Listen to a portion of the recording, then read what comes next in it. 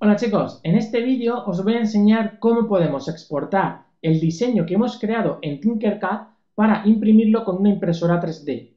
Si no tenéis una impresora 3D, no os preocupéis, hay muchas empresas o muchas páginas en internet donde le envías el diseño y ellos, ellos mismos te lo imprimen para enviártelo a tu casa. Lógicamente te cobran, incluso te pueden cobrar gastos de envío. Pero bien, en este caso vamos a suponer que tenéis una impresora 3D o tenéis un conocido que tiene una impresora 3D y vamos a ver cómo imprimir este diseño.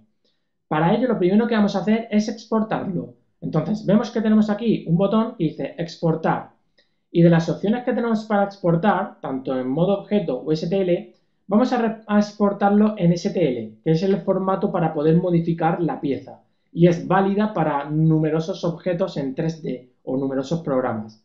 En este caso le damos a exportar como STL y ya lo hemos guardado, en este caso lo vamos a guardar en nuestro escritorio. Una vez hemos exportado nuestro diseño, vamos a utilizar el programa de Ultimaker Cura.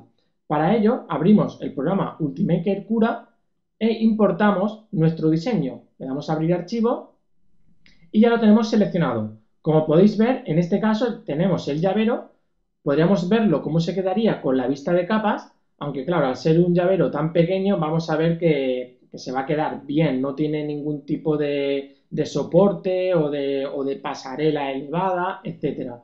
Podemos ampliarlo un poco y vamos, se va, se va a quedar bien. En este caso, al ser una pieza pequeña, yo le voy a poner una altura de capa de 0,2, luego de grosor de la pared superior e inferior con 1 queda bien, y en densidad de relleno 20 también podría estar bien. Yo voy a utilizar un PLA que mi fabricante me ha dicho que funde a 205 grados el diámetro 1,75 como la mayoría de los PLAs y el flujo lo voy a reducir un poco para que no salgan muchos brotes, le voy a poner a un 70%. Esto lo podéis ir cambiando.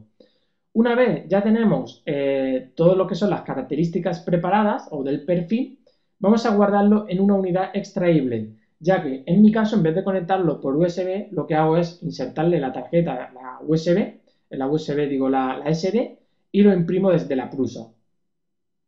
En este caso le daría a guardar en unidad extraíble.